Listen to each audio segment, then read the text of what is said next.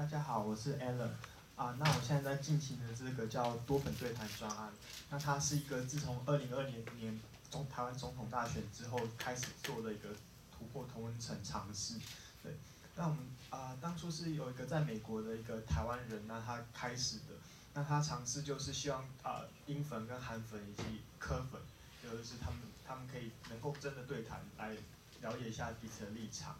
所以他开始这样活动。那当初之后我就参加这个活动。那他原本大概的流程是，他会呃询问大家是哪一个立场的粉丝，然后有有一些做一些基本调查，然后大家会寄 email，然后然后呃呃文祥是原本主办人会来帮忙配对，然后大家就可以交换 line。那我自己就参与到那个活动。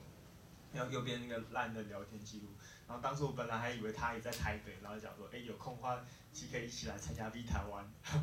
然后可以面对面讨论，然后结果发现他在高雄。那那那次我个人的聊天经验觉得还蛮不错，就是了了解到彼此的背景，然后知道他为什么可能是偏从偏深蓝的背景那样，所以我们尝试建立一些好的一些谈话原则和一些流程，希望在不同立场的的粉丝当间，他们可以比较容易的进行这样对谈。然后再后来，其实还蛮成功的，在第一次中国大选的时候，我们吸引到七百多人参与，然后并且达到一百多约一百人的配对。那后来有呃对这议题有兴趣的公司朋友来参与，然后他在公司工作，所以他也做了一些专题在 YouTube 上面，大家可以在 YouTube 上面找到这些影片。对。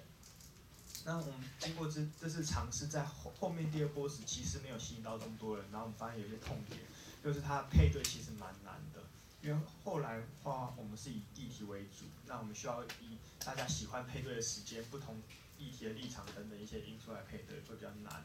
然后，呃，用 email 用 email 来约其实也蛮慢的，然后并且聊天会不同步，然后大家最关注还是大选，然后其他议题就稍微比较难去持续。所以后来想改变一个方式，就现在方式就是把交友化。或许就教的是一个持续可以让他参与的一个方式，那这是一种参与参与呃参考的一个平台，大家可以很快聊天。然后这是我们现在的一个呃稍早初学版本，那我们希望让大家很快的就像古早的聊天室一样，一上去就可以聊天。所以今天我们要做的事情是多粉对谈的贝塔测试，希望找一些大家愿意聊的人，然后来一起来参与，然后希望多找到一些立场不同的人，韩粉左教都行，然后就来试试看这个网站这样。好，谢谢大家。